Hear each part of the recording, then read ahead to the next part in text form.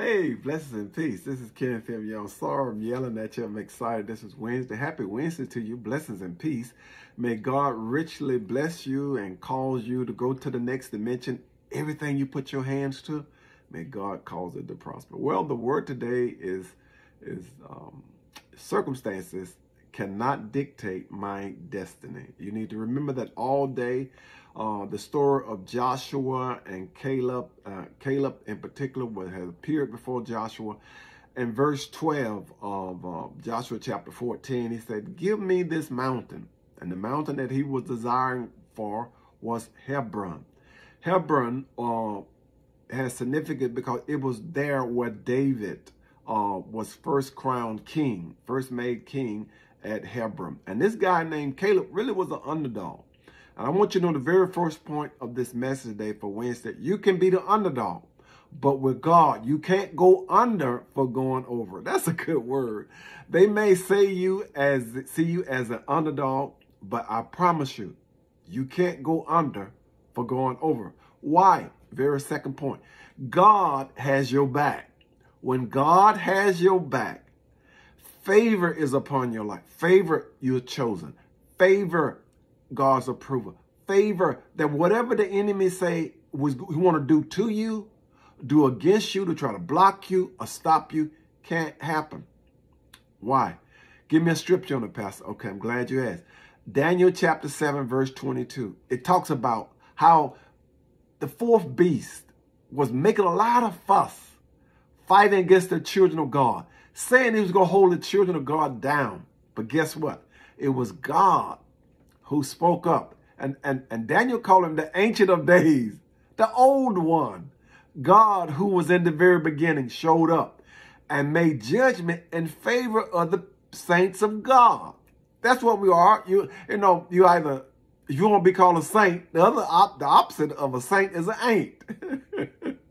you don't want to be an ain't. You don't ain't God. You're not God. You you are God. We are God. We walk like it. We talk like it. Because every day we wake up, we have three choices. Two choices. To live life or let life live us. And I promise you, life is filled with choices, decision, and consequences. So when we live life, we made a decision that we're going to trust God through everything we're going through. Number one, you are not a, even as people see you underdog, you can't go under for going over. Number two, God's got my back. The very last one, don't be ashamed of your testimony. Don't be ashamed of your testimony. Why? My testimony is this I am a living, breathing, walking, talking testimony. You know, God been good to me. And this song I've been listening a lot lately from, from Kearns is titled, I'm So Blessed. You know, whether I'm good on my best day, I'm blessed. On my worst day, I'm blessed. I want you to know you are blessed on this Wednesday. Go out, make it a great day. I know you can. I know you will. The lesson today came from Joshua chapter 14, verse 12. Let me pray for you now. God, our Father, I thank you for this hump day. I thank you for this Wednesday. I thank you for greater is he that's in us than he that's in the world. Thank you, God, now unto him who's able to, to cause us to do exceedingly abundantly above all we can ask or think according to the power that works on the inside of us. God, thank you for the power on the inside of us, manifested on the outside of us as we drive to work, as we go to work and uh, we're believing for that promotion, that the promotion will happen today. We'll get a call soon. The rest that night will be better, sweeter at night.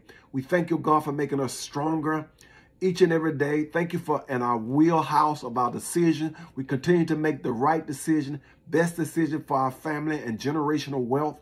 We thank you, God, for allowing us to graduate from school, graduate from high school to go to college and graduate from college and getting the job that we desire. We thank you for the job that we're in now.